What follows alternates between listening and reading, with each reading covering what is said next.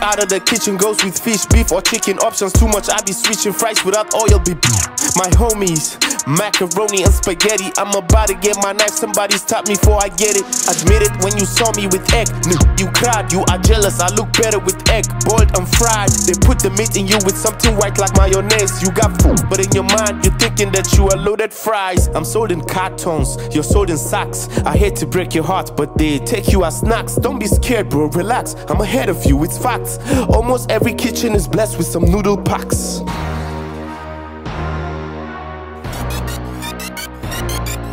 Me and my man catch up, we're gone, you can't catch up. Anytime they spot me on the table, be like, catch up. This is an insult, I'm better without reasoning. All I need is salt, my bro needs a whole seasoning.